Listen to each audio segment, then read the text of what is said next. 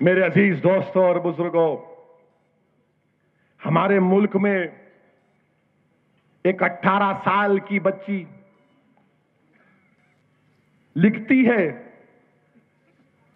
کہ میں ہندوستان کے فلم انڈسٹری کو چھوڑ رہی ہوں، گندگی ہے۔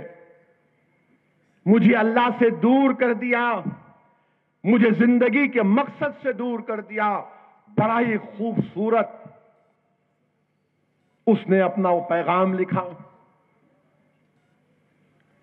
اس کے بعد جو طوفان کھڑا ہو گیا، ہائے ہائے ہائے۔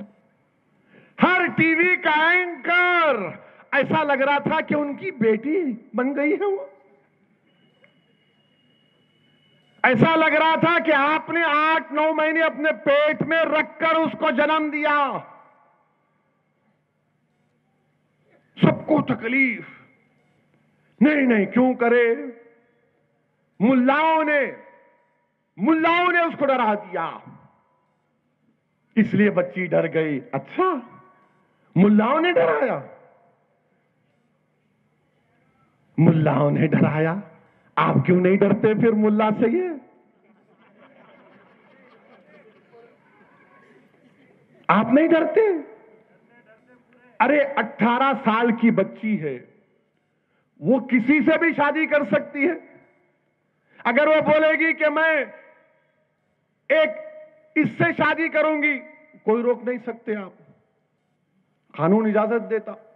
میرے پاس کئی کیسز آتے ہفتے میں۔ کئی ماں باپ بولتے، ہمارا بچہ کر لیا، ہماری بیٹی کر لی۔ میں بولا، میں کیا کر سکتا ہوں؟ نہیں، آپ کچھ کرو۔ بولا، میں مافیا ڈان نہیں ہوں میں۔ میں ووٹ ڈالے تو جیت کے آتا ہوں۔ ایک تو ایسا واقعہ ہوا۔ ایک بچہ کسی بچی سے شادی کر لیا، عشق کیا۔ اب میرے پاس گھر کو آیا۔ اور انہیں آ کے بیٹھا ہوا، ان کے والد صاحب بھی اندر آئے۔ چپل نکالے، کمینے تو یہاں بیٹھا ہوا ہے۔ وہ بولا، نہیں ابا، ان کا نہیں آیا۔ بولے، ان کا نہیں، کیوں آیا؟ بولے، ان کو ووٹ ڈالا نا، ابا۔ کیوں ڈالا؟ تو بولے، ابا آپ ہی بولے نا، جا کے ڈالنا۔ بولے، تو ناک کٹا دیا۔ بولے نے ابا شادی کر لیا۔ میرے کو ان کے ابا بولے، اسد صاحب، دیکھو عاشقی کر کے شادی کر لیا۔ میں نے کہا، چچا، یہ فائیو جی کا جنریشن ہے۔ آپ کا ہمارا generation B S N L کا تھا، اٹھا کے ٹو تھری ملا رہے یہ جنریشن جو ہے فور جی فائیو جی کا ہے۔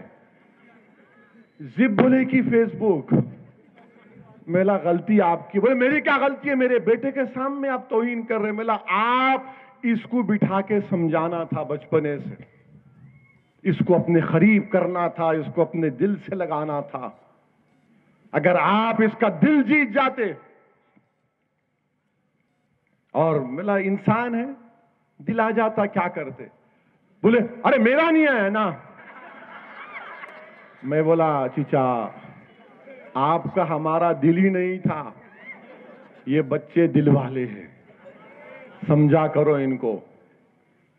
تو خیر، اس کا ہرگز مطلب نہیں ہے کہ تم گھر سے نکل کر دوڑ کے شادی کرنا۔ اماں ہے تمہاری۔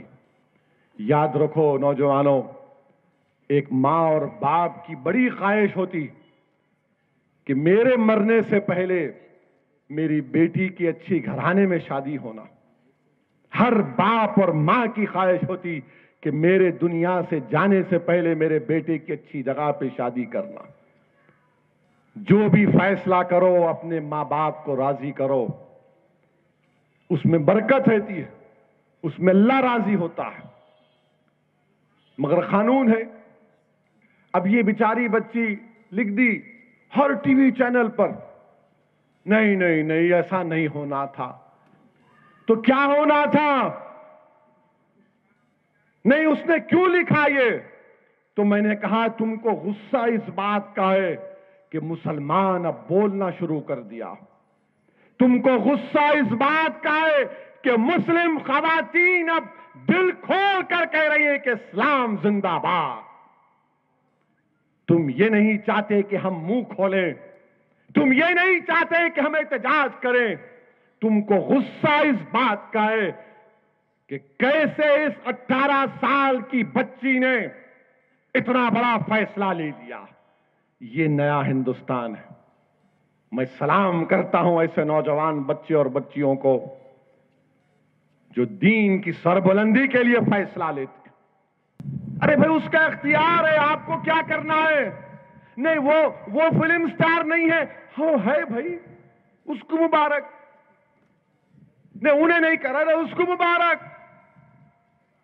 وہ کر رہا ہے، کرو۔ یہ بچی پسند نہیں آئی اس کو۔